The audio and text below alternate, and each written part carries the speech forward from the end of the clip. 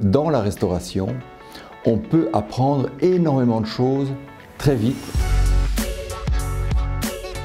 Bonjour, je suis Frédéric Rouvet, je suis euh, le CEO et cofondateur de Exki. J'ai créé Exki il y a maintenant près de 21 ans. Exki, c'est de la restauration rapide, c'est vrai, mais c'est surtout de la restauration rapide qui s'adresse aux gens qui sont pressés et qui sont soucieux de bien manger et de manger sainement. La restauration, comme nous l'avons organisée, comme nous l'organisons, offre aux jeunes en plus l'avantage d'être formés. Beaucoup de jeunes qui arrivent chez nous sont sans aucune formation nécessaire préalable. Nous les formons, ils sont encadrés par un manager, par un assistant manager, par une équipe qui leur permet d'acquérir cette, formation essentielle. On peut entrer chez Exki comme simple équipier et finir directeur général. Euh, notre précédent directeur général avait commencé comme équipier chez nous, le directeur de l'académie a commencé comme équipier chez nous.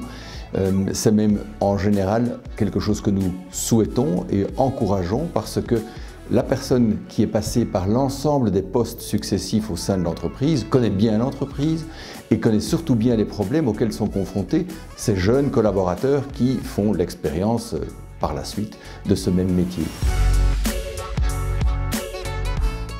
Nous comptons recruter pas mal de personnes dans les mois qui viennent peut-être même dans les semaines si le, redémarrage des activités se fait plus rapidement que prévu.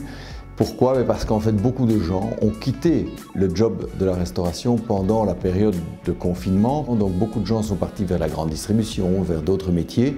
Et donc, nous euh, cherchons à recruter des jeunes qui sont prêts à embarquer dans ce métier.